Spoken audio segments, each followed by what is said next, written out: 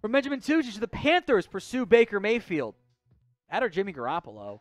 Like, I look, the Panthers allegedly don't want Baker, and Baker doesn't want Carolina, which okay. Beggars also can't be choosers either side. QB class is not great this year. Maybe Carolina goes QB round one. They pass on Baker. See if it works out for them. What up, Dom? Downey, Travon Walker, Tariq Woolen, Tyler Smith, and Nick Petit-Frere, Nick Petit-Frere, with Seattle's first three picks. Also, could Denzel Ward be traded? I would be shocked if Cleveland ended up trading Denzel Ward. I think he's a hell of a corner. In terms of those first three picks, so what? You got 9, 40, and 41. I think it's possible. I know a lot of people like Walker uh, as a top 10 pick. Personally, I don't think he's that great of a player to go top 10. Definitely top 20. Tariq Woolen is one of the best corners out there. I love him a lot, so I think that pick makes sense. Tyler Smith, though, still a little bit early for me.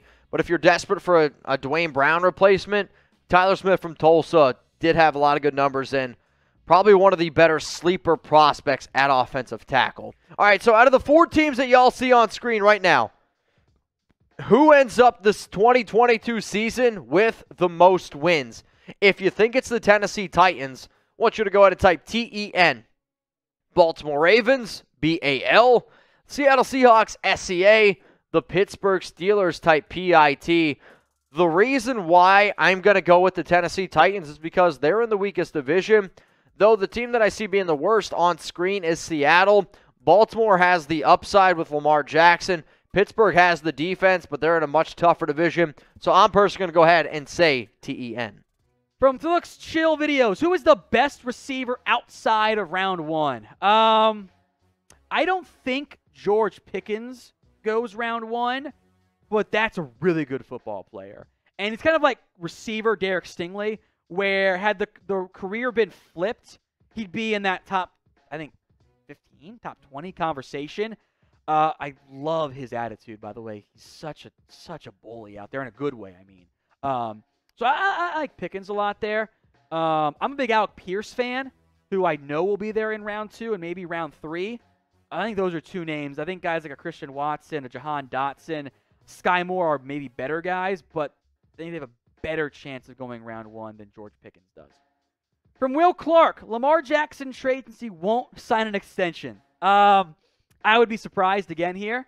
Um, Lamar seems like he wants to wait, which, okay, it's weird. The Ravens want to pay him. But this is also why you wait if you want to as a QB. Because the market has changed drastically this year. If you're Lamar, aren't you asking for the Deshaun Watson deal? And you say, what is Deshaun Watson that I haven't done? The answer is literally nothing. He's had more playoff success.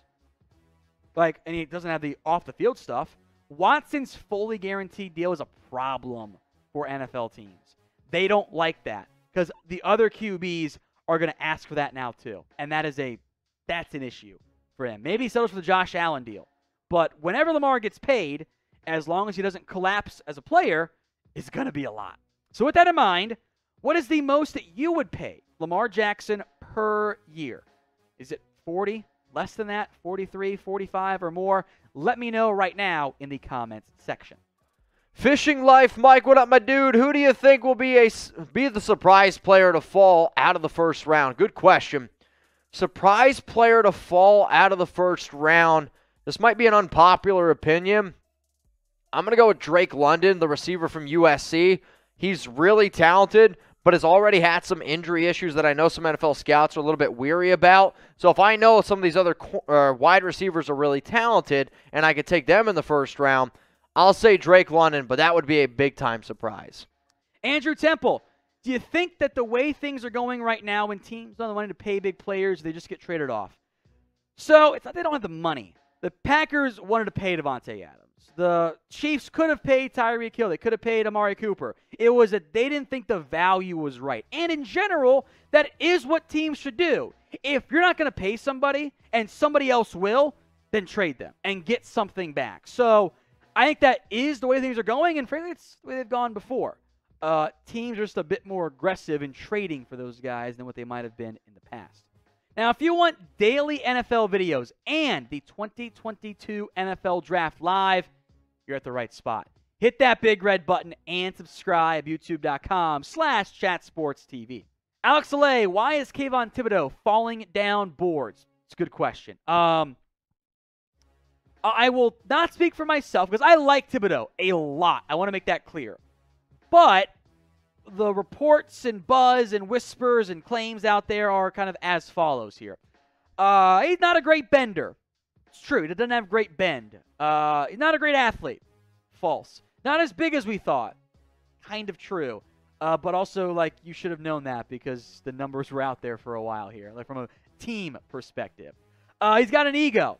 Sure but also like you know he's a top 10 pick. Like of course he has an ego. It's not a bad thing. Uh, he's got focus issues. He cares about, about his brand, and that's what annoys me the most. This like Thibodeaux doesn't love football. We've heard that before with other top Oregon prospects. Justin Herbert doesn't love football. He's too smart. Real thing. Penei Sewell, immature with no specifications as to why. That narrative happens a lot with Oregon guys and it's 0 for 2 with Sewell and and uh, and Herbert so far. And I don't get why that happens just for them. Doesn't make any sense. And it's really weird to see the Thibodeaux cares too much about his brand when Aidan Hutchinson has a show already with, PFF. Like that narrative disconnect doesn't make sense to me. It's really weird. I think Thibodeaux should probably pick number two. If I were the Lions and I missed out on, on Hamilton, I'm not going to go safety in round one, which, okay, I get positional value. I would take Thibodeaux. The Texans at three, the Jets at four, the Giants at five. Should all strongly consider Kayvon Thibodeaux. The Giants seven, Falcons eight, Seahawks nine. If he gets out of the top 10, maybe then the NFL is, is right. Maybe then there is the real stuff. They're concerned about a Justin Gilbert all over again. For you Browns fans, you know that one. And maybe we're wrong. It's tough to know, but NFL isn't always right on those things. And it's just the narrative is weird uh, for around Kayvon Thibodeaux, especially with the Oregon stuff being similar in the past. And I like him a lot. Top five guy for me. I, I take him in a heartbeat. So what do you think? Who will draft Kayvon Thibodeaux this year? Pin comment on today's video. The ad break comes. You know the drill. Head down there. Let me know who you think will draft Kayvon Thibodeaux in round one of this year's class. NFL Daily is now also on Rumble. Exclusive content, more videos, and of course, stuff we post here on YouTube is also available on Rumble. We try to dominate that platform. Rumble.com slash NFL Daily. DG Sports Talk, are y'all hiring? That is above my pay, my pay grade, my friend. But to answer your question on Pierre Strong, I just finished him up the other night, so let me read off from my scouting report here. Pierre Strong, 5'11 and change, 202, uh, zone rushing scheme, uh, sleeper. I-, I wish he played FBS. I thought he, but he tested great with elite production at South Dakota State. Made some guys miss. Big play threat, 10 rush touchdowns of 50 plus yards. Drops are an issue, and they were an issue at South Dakota State for this past year against just 22 catches. I think he's a bit more like build up straight line speed than big time explosion, which is probably fine. My, my question mark is is he Elijah Mitchell? I think it's a good player comparison. Or on the downside, is he Darrynton Evans? Fourth round, could have a sleeper on your hands there. All right, y'all. So we're talking about cornerbacks. How many corners get drafted in round one? Usually, and I, I try to diagnose each position by my top players. I could see four cornerbacks going in round one. I would probably set it. I'd probably set the over under at four and a half, though that seems high. Maybe three and a half because I see Stingley, I see Sauce, and I see Trent McDuffie all going in round one. And then after that, it does get a little bit interesting. So let's say three and a half. That would be the over under. Let me know how many corners get drafted in the first round of the 2022 NFL Draft.